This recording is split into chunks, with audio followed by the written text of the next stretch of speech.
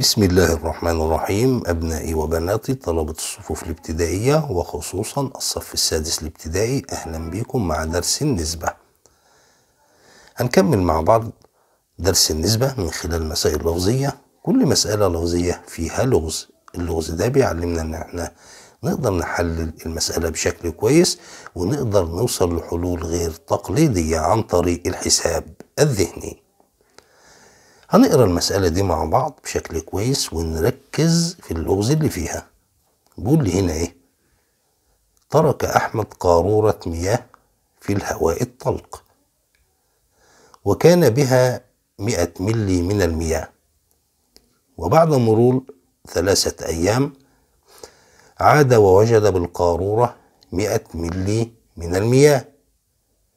ثم ترك قارورة أخرى بها مئة ملي في الهواء الطلق. وبعد مرور ثلاثة أيام عاد ووجد بها تسعين ملي من المياه. السؤال الأول احسب النسبة بين مقداري المياه في القارورة الأولى والقارورة الثانية بعد مرور ثلاثة أيام. السؤال الثاني وهو السؤال اللي فيه اللغز علل يعني اذكر السبب علل سبب نقصان المياه في القارورة الثانية يعني ليه المياه نقصت في القارورة الثانية وعدم نقصان المياه في القارورة الأولى بعد مرور ثلاث أيام. هنعلل بسبب منطقي يعني في إجابات كتيرة هتبقى إجابات صحيحة أهم حاجة الإجابة تبقى إجابة منطقية. وهو ده اللغز اللي موجود في المسألة. اللغز ده مهم جدا بينشط الحساب الذهني عندنا وبيعلمنا على طريقة جديدة وهي طريقة إيجاد الحلول غير التقليدية وفي نفس الوقت تكون الحلول دي منطقية. أول حاجة بقسم المسألة بتاعتي بالشكل ده وبعمل لها برواز هنا بقول لي إيه؟ احسب النسبة بين مقداري المياه. هنشوف كمية المياه في القارورة الأولى وكمية المياه في القارورة الثانية إمتى؟ بعد مرور ثلاث أيام. نسبة المياه في القارورة الأولى إلى نسبة المياه في القارورة الثانية. لازم نكتب علامة النسبة اللي هي نقطتين فوق بعض. تمام؟ طب تعالوا نشوف نسبة المياه في القارورة الأولى كانت كام؟ بيقول لي هنا إيه نسبة المياه في القارورة الأولى كانت كام؟ 100 ملي نكتب هنا 100 طب نسبة المياه في القارورة الثانية ده إمتى؟ إحنا بنتكلم بعد مرور ثلاثة أيام لأن السؤال بيقول لي هنا إيه؟ احسب النسبة بين مقداري المياه في القارورة الأولى والقارورة الثانية بعد مرور ثلاث أيام يعني بعد مرور إيه؟ ثلاث أيام. يبقى القارورة الأولى كان فيها 100 ملي طب والقارورة الثانية بعد مرور ثلاث أيام كان فيها قد إيه؟ لما تيجي تشوف بيقول لي كان فيها 90 ملي يبقى هنا هكتب 90 تمام؟ بعد كده بعمل إيه؟ بقسم بقى. المية ده أقسمها على 10 والتسعين أقسمها على 10 عشان نبسط النسبة بتاعتنا. المية على عشرة فيها العشرة والتسعين على عشرة فيها التسعة. طلعت النسبة بتاعتي كام؟ عشرة إلى تسعة وهي ديت النسبة المطلوبة. السؤال الثاني وهو السؤال اللي فيه اللغز. يا ريت نفكر ونستخدم مخنا بشكل كويس ونربط المعلومات اللي إحنا بناخدها في مادة العلوم بالمعلومات الموجودة في مادة الرياضيات لأن ده هو المنهج الجديد بيعتمد على الفهم ويعتمد على التحليل. هو ده الجيل الجديد من المنهج. لازم نتعلم طريقة الفهم وطريقة التحليل.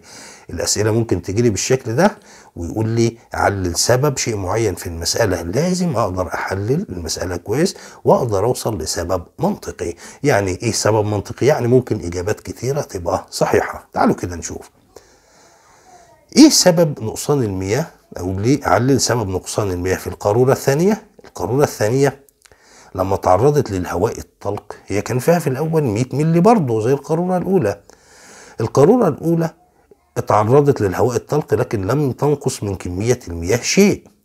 القارورة الثانية كان فيها 100 ملي لكن بعد مرور ثلاثة أيام نقصت كمية المياه وبقت 90 ملي إيه سبب نقصان المياه في القارورة؟ الثانية لو عندك سبب منطقي قوله يا ترى إيه؟ ليه كمية المياه في القارورة الأولى ما نقصتش وكمية المياه في القارورة الثانية نقصت؟ القارورة الأولى كانت في الهواء الطلق والقارورة الثانية كانت في الهواء الطلق. يبقى أكيد في سبب منطقي. يا ترى إيه هو؟ أديك خمس ثواني عشان تحل. واحد اتنين تلاتة أربعة خمسة.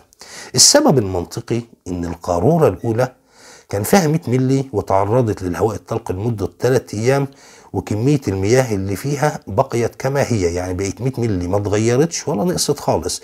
طب ليه؟ هنقول السبب المنطقي إن القارورة الأولى كانت مالها. هنقول بقى كده لأن القارورة الأولى كانت محكمة الغلق. يعني كان الغطا اللي محطوط عليها حاكم اغلاقها خالص لدرجة إن مفيش هواء بيدخلها خالص. يعني كمية المياه اللي فيها لم تتبخر منها أي نسبة. تمام؟ أما القارورة الثانية فكانت ها يبقى القارورة الثانية ما كانتش إيه مغلقة. فكانت غير مغلقة. لذلك تبخرت نسبة من المياه اللي هي إيه؟ مقدارها عشرة ملي يبقى هو ده السبب المنطقي. لو عندك أسباب أخرى مفيش أي مشكلة. لكن ده أقرب سبب منطقي لأن القارورة الأولى كانت محكمة الغلق. عشان كده المياه ما تعرضتش للبخر أو للتبخر أما القارورة الثانية فكانت غير مغلقة لذلك تبخرت نسبة من المياه. تمام كده؟ يبقى هنا القارورة الأولى كانت محكمة الغلق تمام؟ أما القارورة الثانية مالها بقى؟ أيوه فكانت غير مغلقة لذلك تبخرت نسبة من المياه وكانت النسبة دي مقدارها 10 إيه؟ 10 ملي لو عندك سبب منطقي آخر مفيش أي مشاكل. أهم حاجة يبقى التعليل بسبب. منطقي. لو عجبتكم الفكرة وخصوصا فكرة اللغز نعمل like و share واشتراك في القناة بتاعتنا ونشير قناتنا ونعرف أصحابنا وأصدقائنا باسم القناة قناة درس رياضيات أونلاين. أشوفكم إن شاء الله على خير وفيديو جديد وفكرة جديدة ولغز جديد. السلام عليكم ورحمة الله وبركاته.